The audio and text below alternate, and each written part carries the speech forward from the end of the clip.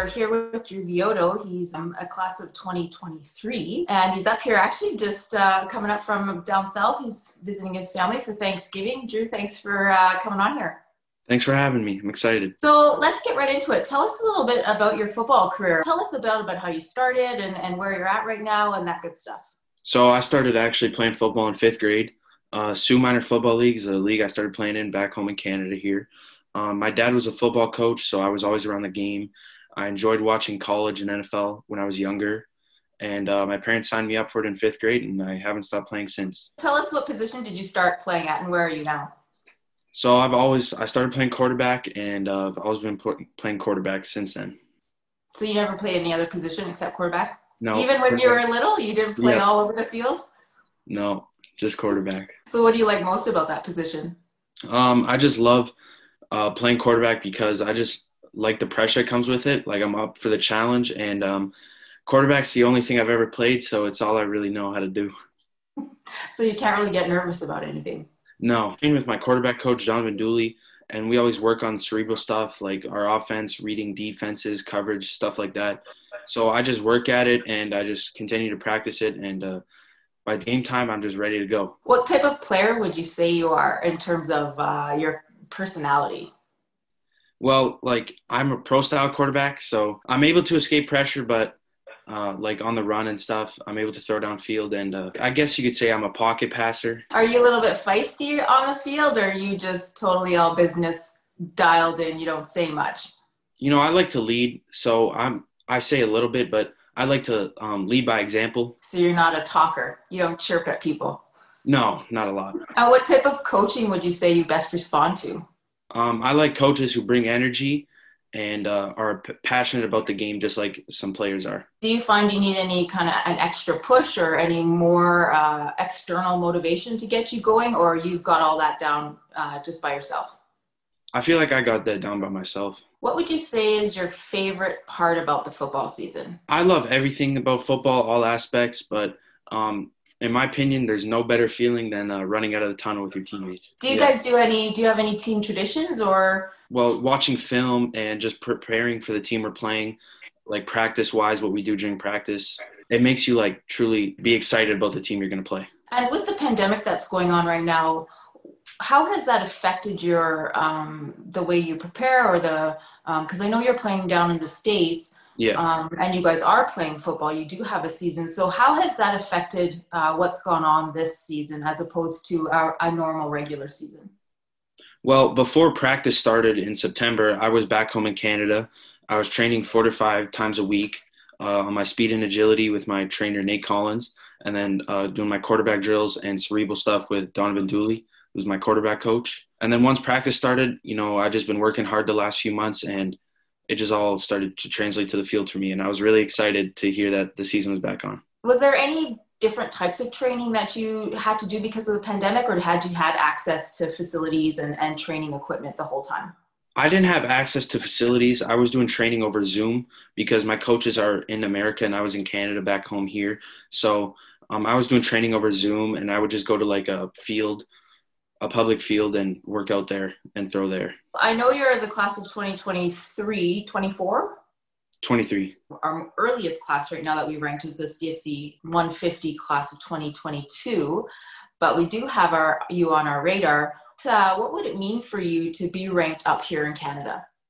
It would mean everything to be able to represent my home country like that. It, I'd definitely be grateful to be um, ranked in Canada. So the rankings, just for those of you who are listening, are, are the CFC prospect rankings, and you can find those on CanadaFootballChat.com under the rankings menu tab at the top uh, on the homepage. And like we're saying, the CFC 100, 150, and 200 are um, the classes of 2022 and 21 are out right now. And uh, in March, the class of 2023 will probably be released. So, uh, Drew, you'll have to wait until then. I'm excited. So, that being said, the recruiting process, I believe you have an offer already. Is that right? Yes, so I'm honored to say I have three scholarship offers: uh, Syracuse, Central Michigan, and Bowling Green State. Uh, a bunch of other coaches have like followed me on Twitter, invited me to camps like Penn State, Michigan, Michigan State, Purdue, and Toledo, um, and many others. But I've I wasn't able to attend because of pandemic, and the majority of the camps got like all the camps got canceled, so I wasn't able to go. How has the process been for you? Have you been enjoying it, or do you find it a bit stressful? Uh, well, I'm still younger and like I'm still early in the recruiting process, so Yeah. it hasn't been stressful at all for me. I'm just excited and honored that these coaches have reached out so far. Performance expectations. How do you handle that in terms of uh, those expectations, and um, does it just kind of flow off you, or do you find that you really have to work on alleviating that that anxiety? Well, I've been working with my quarterback coach for about three years now, and we've just been working on like being prepared for these big moments. So yeah, I'm I'm just prepared. I'm definitely prepared for these moments. And how how has your family been with supporting you through this whole process? Because it must be quite a change for everybody with you moving down to the states and you know them either well right now I know it's different, but in normal times you know driving down and up and, and trying to see your games and all that kind of stuff. How has that been for them? It's been a lot of sacrifice for them, but um, I'm super thankful that my parents made the uh, gave me the opportunity to do what I'm doing, and uh, I've never looked back since. So what are your aspirations academically? What would you like to study at the next level, and um, what kind of career would you like to get into? Uh, I'm I'm still undecided, but the two things I'm looking at are business and education. Um, business, I would like to once football ends, um, because it can't last forever. I would like to start my business, my own business one day, or Okay. possibly get into coaching football. What type of business would you be looking at? I haven't gone that far into depth about it, but just starting my own business one day would be something I'd definitely think about. So do you have a bit of an entrepreneurial spirit? I th- I'd like to think so. just two more questions. While you're down there with your teammates, do you find that uh, the peer pressure of, you know, maybe being distracted by, you know, partying or, or any other type of activity that may pull you away from your training or, or the discipline stuff that you have to do in order to, you know, get better each day, do you find that hard to say no to, or do you even find that you experience that peer pressure? Um, it's I don't find it hard to say no to because I have a small group of friends and we think likewise and we concentrate on our getting better at our crafts and we work hard uh, with each other and we just work to get better. How important would it would you would you say it is to surround yourself with those like-minded people? I would say it's pretty important just to have people around you that think the same as you and want to get to the same level as you want to get to. Just lastly, where do you hope football is going to take you in the future? Uh, well, my goal is to play Division One football, and um, yeah, just Division One football is like the goal for me. So we're going to play a quick game. So I'm going to say a statement and you're going to say the first thing that comes to your mind, or I'm going to say two things and you pick which one you prefer. Okay. What are you watching on Netflix? Uh, Last Chance U. What would you wear? A helmet, visor, and backplate, or gold colored cleats? Helmet, visor, backplate. Sweet or salty? Uh, salty. What's your dream destination? Florida. I I've, I go there every year for Christmas. I just love it down there. There's no football. What other sport are you watching? Basketball. What is your spirit animal? That's a good question. Um, I don't really have one. I don't know. I don't know what it would be. Okay, what's your favorite animal then? My favorite animal, a lion. Okay, so we'll say your spirit animal is a lion. Sure, we'll go with that. Pineapple on pizza or not? Definitely not. Pineapple does not belong on a pizza. Is a ha- is a hot dog a sandwich? No, a hot dog is a hot dog. It's not a sandwich.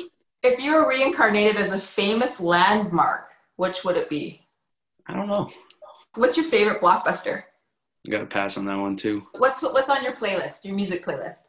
A lot of Drake. Um, love Drake. He's Canadian, so gotta love Drake. Um, just a lot of rap music, stuff to get me uh, excited to play, like pumped up to play football.